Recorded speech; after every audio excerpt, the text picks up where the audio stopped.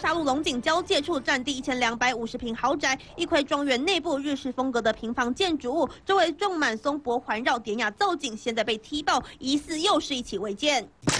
从空照图来看，发现地号四九零上头有栋方形白色建筑，比对庄园内部，疑似就是这栋日式建筑。经查证，国长段四九零地号所有权人确实属于严家人，登记面积约七百七十二平，但上头显示明明是绿区保护区，却有建物，甚至查无建造史照。这个有严家所持有的私有地，但是它也是保护区，居然可以在上面建立另外一栋很大栋的主体建筑。那这个主体建筑，我们查了相关的系统，完全没有。任何建造执照，可以说它几乎笃定就是一间百分之百的违章建筑。严家县被曝自立路豪宅实照竣工日期显示二零一三年，但是二零一四年的街景图建筑物却还在施工，涉及二次违法加工，又遭爆料这栋日式建筑物也涉及违建。不好意思，严家最近好像又有第二栋违建的部分，是否会怎么做呢？对豪宅我们可以回应一下。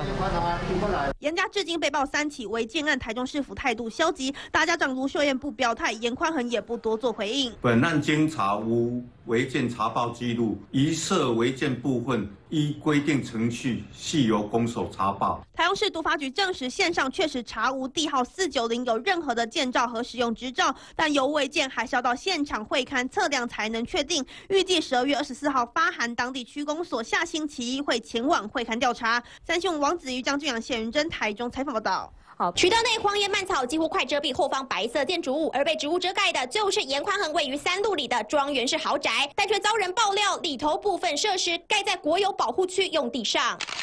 国产署标租文件中，蓝色线条清楚画出占用范围，要进行标租，申请时间点落在一百零八年八月，却遭外界质疑这时间点大有玄机。我们那个标租的作业要点在一百零八年有做了一次修正哦，那修正的部分是从底价部分的计价方式有做了修正，修正前后它的底价会从七十八万多，然后现在是二十三万多。国产署一百零八年七月底才更改标租底价计算方式，也让这笔国有地底价从七十八万八千八百元直接下杀到。二十三万三千两百八十元。一周后，立刻有一名林先生提出要申请标租，但隔年公告标租时，却仅有一人投标。立委林楚英指出，得标者就是严宽恒妻子陈丽玲。但早在一百零八年提出申请标租之前，国有地上就有咖啡雅座、车道、大门等设施，被质疑难道是看准降价才要租吗？